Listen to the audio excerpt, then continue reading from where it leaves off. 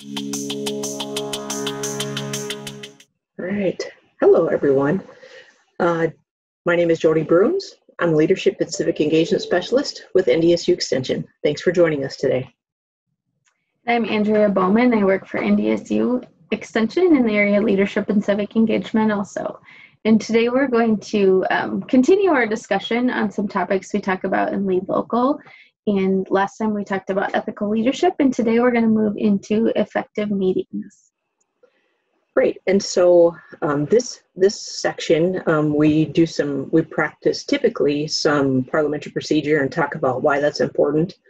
Um, but with um, more people, workforce working um, remotely, um, many groups have gone to having remote meetings. And ironically, on the Attorney General's website, it, there is a statement about if you don't have to have the meeting, don't have it. Um, rethink having those meetings. And you know that's something Andrea and I talk about too when we we work with lead local groups. We talk about you know don't meet just to meet because you typically have a monthly meeting scheduled for your whatever particular group it might be. If you have no business on the agenda, then don't call a meeting. Um, you know, our state, it's um, documented that we need between eight and 9,000 volunteers to serve on your, maybe it's your school council, um, school board, or your church council, or um, running for legislature. Um, because so there's a lot of positions to fill, and so let's not fill that time with unnecessary meetings because people it's it's a proven fact people don't want to have to attend any more meetings than they have to. So the meetings that you do hold make sure they're effective and effective meetings is really about uh, good time management um, and it takes some planning ahead of time to have everything in place and with our recent shift to more online and virtual formats uh, they've kind of forced us to maybe be a little more organized and have that information out to board members ahead of time. And remote meetings can really be um, just as effective, if not even more effective, than um, our regular organizational meetings. And so that's what we're going to dive into a little bit more today and look at those um, different layers of effective meetings. Um, last time we talked about the laws, the open record and meeting laws, and how they apply to organizations. So today we'll dive into a little bit more of the parliamentary procedure and just the best practices for transparency in organizations. So, in regards to remote meetings, um, choose a format that's available to everyone, either online or on the phone. Um, allow for a practice, run, or tutorial for board members. Um, and I've seen a lot of this. Um, many counties or your your county commission. Um, I see emails come from county auditors with a Zoom link so people can join um, over the internet or are also provided with a phone number. So if they don't have access to, to the internet or choose not to log in, they at least can call in. And so that's um, you know, allowing people to join. You don't want to exclude anyone, especially in those public meetings. Yeah, and I think it's important to be um, very uh, aware of your uh, comfort level of the board members and their technology. Some people aren't as comfortable with the technology, so they might need a little extra help in just um, practicing ahead of time so that when it comes to the actual meeting, it's not the first time they've been in that online format. They have some familiarity of where the different functions are and what they can utilize. So primarily we have used Zoom um, as a platform for the meetings we have been a part of. Um, but I know, Andrea, you've been a part of Microsoft Teams. Yep, I've been on a few meetings via Teams. And there's certainly others, so we're not necessarily promoting one over the other, um, but I think it's really important to be familiar with it. Um, and, and we've done that just by diving in, um, getting those accounts set up and and participating in those meetings. And that's really the best way to do it. Make sure you're familiar with it, at least with the ins and outs of that. Um, mm-hmm. Chat functions can only um, be used if everyone can see that chat. So, you know, that's a lesson learned too. Uh, make sure that your chat pod is open and people know how to type a question if they don't want to be heard. Right. And we have to, when we're um, in a remote meeting, we have to remember that there might be people that have just called in So have to kind of look at things from their perspective too, that they're only hearing what's happening during the meeting. So make sure that we're um, aware of that. So if you are using the chat function, someone would have to read those chats. So depending on um, what the meeting is, if it's an official business of an entity that um, has to um, follow the open record and meeting laws, it's just a good practice to not even use the chat. Or if it's a, just a uh, informal meeting um, between colleagues or something, then the chat function can be a, a good tool to utilize. So um, effective remote meetings are no different in that um, it's it's always good to start with your maybe it's your pledge of allegiance or your typical opening ceremonies. Don't disregard those just because you're working remotely. It's always good to start with some kind of introduction or an icebreaker, um, or I've heard it called um, like a check-in. Make sure everyone gets an opportunity to unmute and not just join via their um, their video. Um, but make sure that people have an opportunity to unmute and participate in the call. So if you do some kind of check-in or an icebreaker, then everyone is required to at least unmute their phone one time. So don't disregard those um, opening ceremonies and some of those traditional things that you do just because you're meeting remotely. Right. We want the meeting to to look um, the same as it would if you were in in your uh, typical building that you or meeting room you would meet in, um, but we understand that the format has to be a little different right now. And so that applies to the ground rules, ground rules as well. I mean, hopefully your organization has some established ground rules, and there might be a few more that you need to add that will reply apply to the remote meeting. Um, and one of those is probably muting your microphone. You know, what's your policy on that? If you're not speaking, is your microphone muted? Um, the other is is your video on? Do you have video capability? Um, it's really nice to be able to see people. That's one thing that's a little different in remote meetings is you can't necessarily see everybody at the same time depending on the format you're using. So it's a little different um, in communicating. You can't always read body language like you you can in a room, but those ground rules are still really important. And you still really want to use parliamentary procedure. It's really really important even when it comes to remote meetings. Um, the chair just maybe has to do things a little bit differently. There can be a slight delay in the rig- the video and the sound coming through, so just move things a little bit slower. You know, maybe make sure you're asking for debate a couple more times and making it clear when um, a motion is made and seconded. Might be a good idea too, just to have um, maybe your auditor or your business manager or whoever, maybe your VP, keep an eye on the chat pod. Um, I know sometimes that's that's it's hard to pay attention to what you're presenting and manage the chat pod or if people have questions. So you want to make sure that you um, are recognizing those things that come up during the meeting. Um, again, just some things about um, establishing some ground rules. Um, I noticed that on Zoom now, a passcode is is automatically generated. So um, just to maintain um, the meeting, the meeting integrity, so not everyone can, um, like just random people could log on. So that's a that's a default on Zoom now is um, a passcode, so make sure that you share that with with the public who might want to log in. Um, just make sure everyone can participate. As Andrea stated before, make sure you do have an agenda. Um, we're always surprised at how many organizations don't create an agenda before the meeting, um, and and now it's no different. It's important for people to look ahead and find out what do I have to prepare for the meeting. Um, this is also important to start and stop on time if you have an hour meeting planned. You know, be, be respectful of people's times.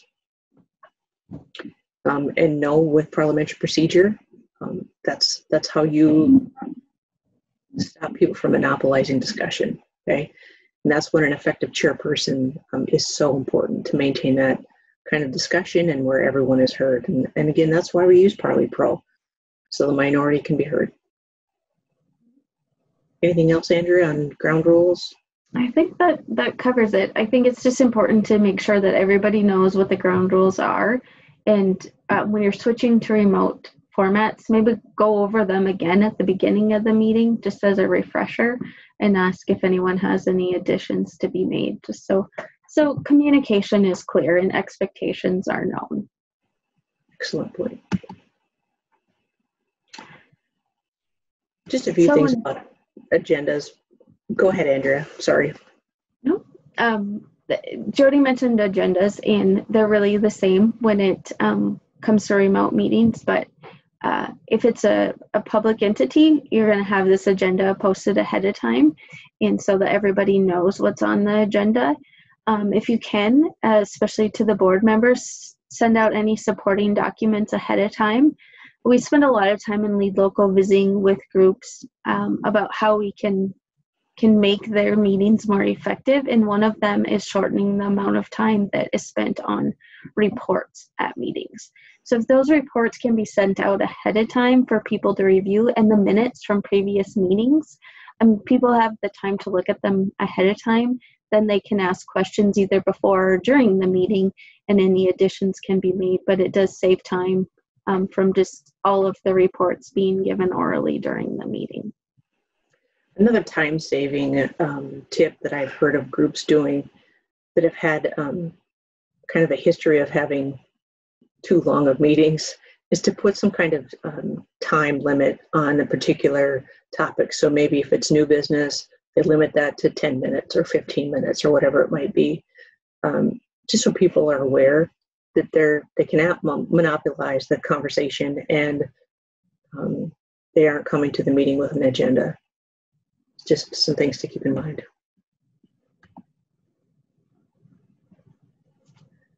So again, some agenda items just in regards to Robert's Rules of Order. Make sure that um, you know your, your chairperson is calling the meeting to order as they typically would any other meeting again, your opening exercises, that might be your Pledge of Allegiance or whatever your organization typically does. Um, you know, those things don't need to change just because you're meeting remotely. Make sure you maintain the integrity of your organization and, and the meetings. Um, stick to the reports of officers and standing committees. Um, you know, your special committee reports. We talked about this last time on ethical meetings. Make sure even those special committees that you've appointed to maybe do research or um, study a particular topic, that those um, groups are also abiding by the open meetings and records laws. Um, unfinished business is obviously something that um, perhaps was not settled at the last meeting, perhaps an issue was tabled, um, and then your new business announcements and adjournment. Yeah, and to talk about parliamentary procedure a little bit more without um, spending a, a, long a time on it, um, you know, most organizations use it, and it's important to use a proven set of rules. Um, there are some other things out there that you can utilize as well, um, but parliamentary procedure can really help you maintain order um, and helps control the communication process. And just um, like Jody said earlier, it gives a chance for the minority to be heard um, and just keeps the meeting flowing. Um, and a good chairperson in a board that knows parliamentary procedure really helps um, with those effective meetings.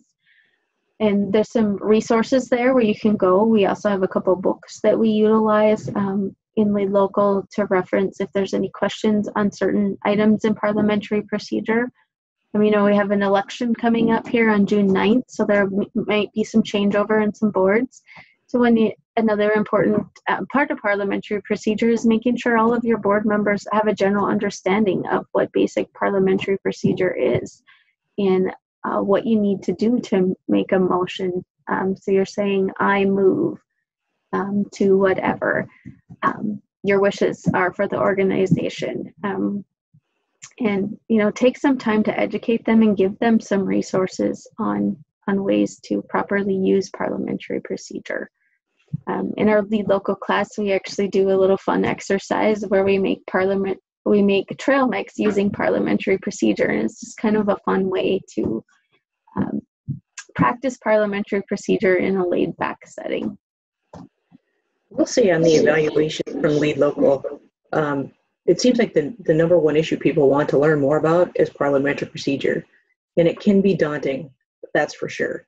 Um, and most organizations don't get real deep into parli pro, and we we fully expect that. But if you want to learn more about it, I mean, even the basics of making a motion, just like what Andrea had said, um, you know, it's important. It's important that you have that you maintain some control in a meeting um, and Extension has a number of resources that are listed on this slide. Um, I know both of us, whenever we go to this training or go to meetings, we bring along our Robert's Rules of Order book. I have a an abridged version. It's really small, but it has the important points in it.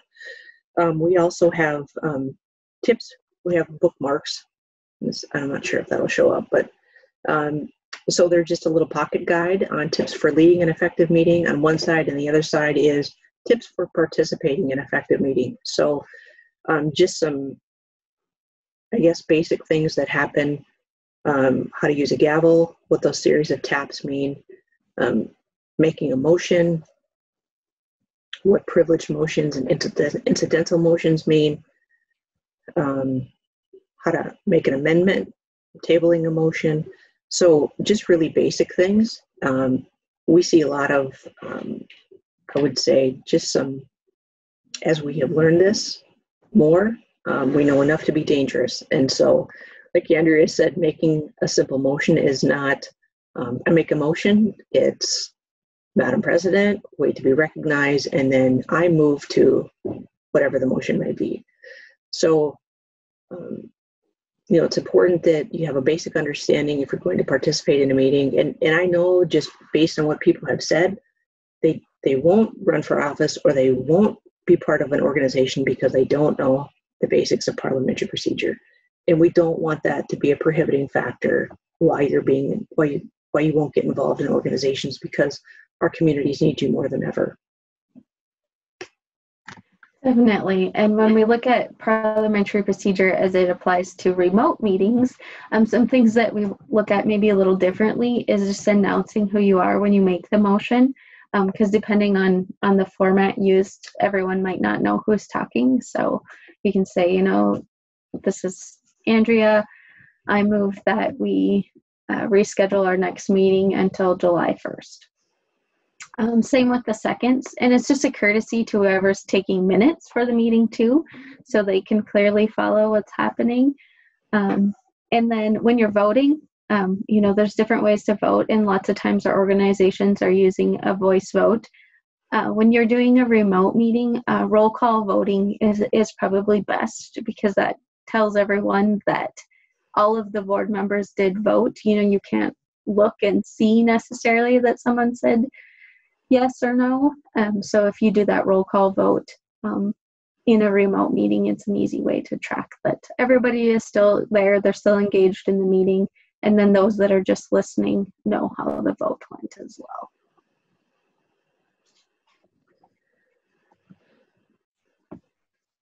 So a couple things about um, quorum, might be familiar with that term. So the minimum number of members that must be present at a meeting to make a valid decision by the organization, it's really indicated by the bylaws of the organization. It's typically half of the registered membership. Um, but if you have a constitution in your particular organization, follow that. I mean, you, if you have 10 members, you typically need five at the meeting or whatever half is. Um, it's just the way you can't do, you're not supposed to do business if you don't have quorum for a meeting. Just keep that in mind. It's just so two people aren't making all of their decisions for an organization. So we have a number of references we can share with you. Um, just some of the things that we use when we do this. Um, so I just want to point out a couple things. So Andrea and I talked about some of the the questions that we get in regards to meetings, some of the probably more common questions asked. And I'm just going to reference some of the things we resources we have in our lead local binder. So as Andrea talked about making a proper motion, um, so, Andrea, let me ask you if I make a motion, um, do you have to agree with the main motion if you second it? You don't. If you second the motion, you're just saying, yes, I think that we as a board need to discuss this. So just because you second the motion doesn't mean you are going to vote for the motion or in favor of it. It just means that you want to, the board, to have the opportunity to debate and discuss the motion. It's probably the number one issue that we see in meetings, and people tell us too. They usually discuss things and then they vote on it, Mhm. and that's that's really the incorrect way to do this. You're supposed to make a motion, second it, and then have the discussion on the particular issue, right? Definitely. That's probably the, the number one um, thing that comes up in lead local meetings as far as parliamentary procedure um, that that isn't done correctly. And it's it's for whatever reason become common practice um, that we discuss before a motion is made. So, okay, so let's say I make a second, we're having some discussion on it.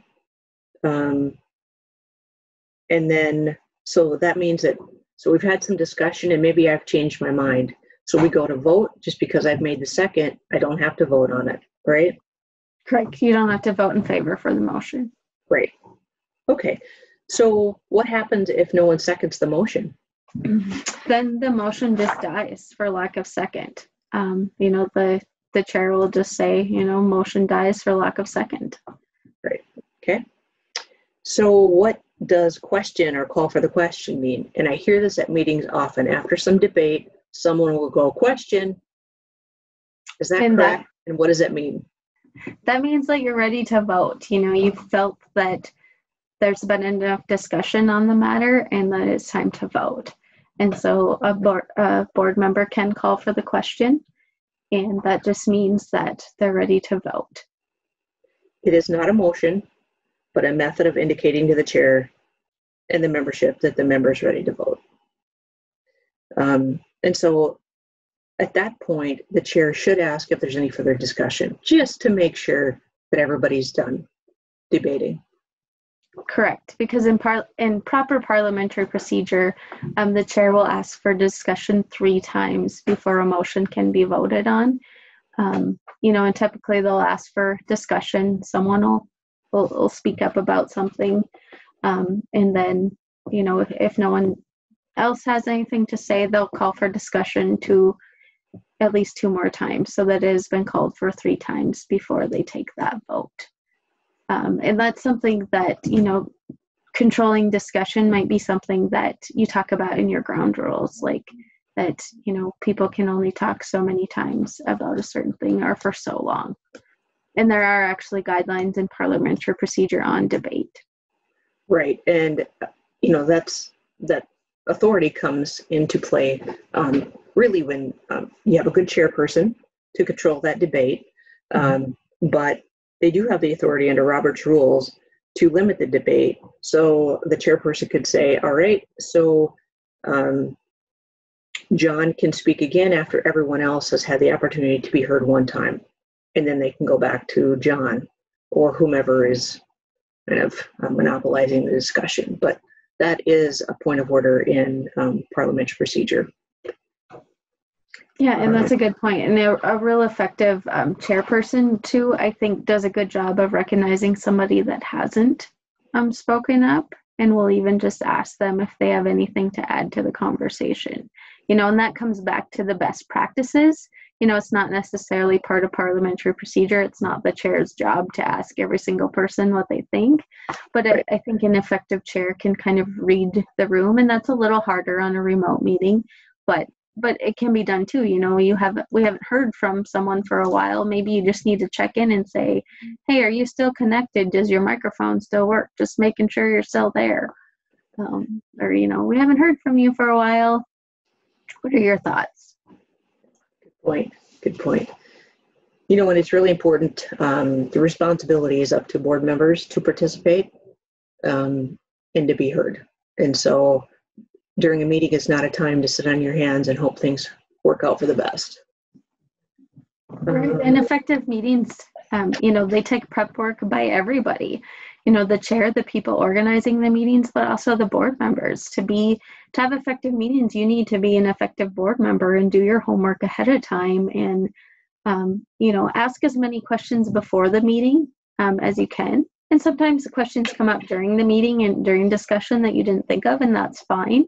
But I think it's only fair to um, the people that are in charge of of gathering the resources to ask questions in advance so they have time to research them as well and then it, it it's um, nice when you know the if there's questions that have been asked ahead of time maybe bring those up at the meeting because other people might have had those questions as well. Um, so so that information is shared too. Yeah great point. So um, i guess just to close um, know that we have a number of resources for you as a board member or an organization that um, would like to follow parliamentary procedure or learn more about it. Um, again, we have um, in our lead local, we have a number of resources included in this on, on privileged motions, subsidiary motions, um, and incidental motions, and how to handle all of that. And as well as our bookmarks. If your organization would like some of these, we can sure get you some of these bookmarks to share. Um, and keep in mind that um, most organizations are not going to go um, deep into the um, finer points of parliamentary procedure, but even having a basic understanding gives everyone a right to be heard. So it is um, suggested that you have a basic understanding for those things. And we are willing to help with that if you just um, have some questions about that.